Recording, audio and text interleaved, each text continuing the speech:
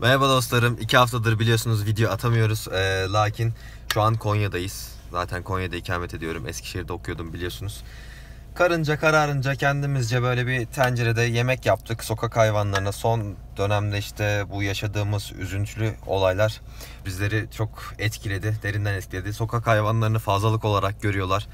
Ee, bizler de artık elimizden geldiğince bir şekilde çöp kutusunun yan tarafına yemek bırakalım dedik. En azından kursaklarından sıcak bir şeyler geçsin. Ee, eğer sizlerin de imkanı varsa, imkanınız yoksa kesinlikle zaten yapmayın. Ama kenara bir yere mama bırakabilirsiniz ya da evde yemediğiniz artıklar falan olur. Onları da koyarsanız çok mutlu oluruz. Şimdi sevgili patilerimizi artık biraz besleyelim. Şu an hava 3 derece. Bayağı bir soğuk. Arkadaşlar şurada benim evimin yakında bulunan çöp kutusuna geldim.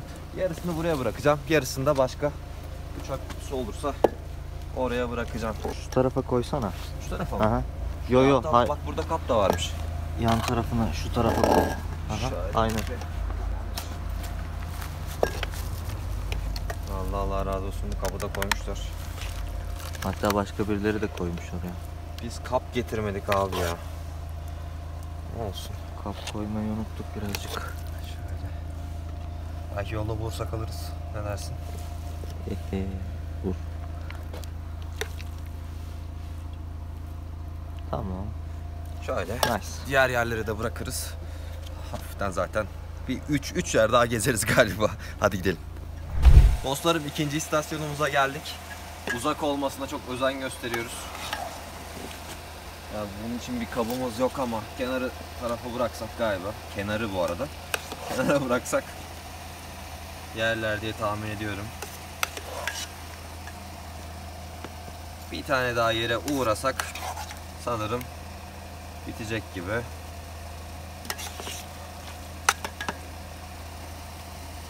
Şöyle şimdilik yeter galiba. Diğer bir istasyonda görüşmek üzere. Evet son durağımıza da geldik arkadaşlar. Closing atmışlar ya. Şaka gibi. Evet. Maalesef. Oluyor böyle şeyler. Şimdi burası Konya deyip de Konyalılardan linç yemek istemiyorum. Şu kenara da bıraksak.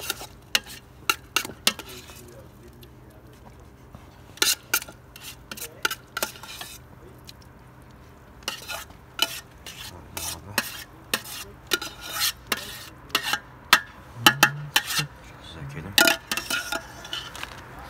Evet dostlarım videonun sonuna geldik. Ee, bizler elimizden geleni yaptık. Sizler de imkanlarınız doğrultusunda yardım etmeye çalışın. Olamıyorsa da can sağlığı. Yapacak hiçbir şey yok.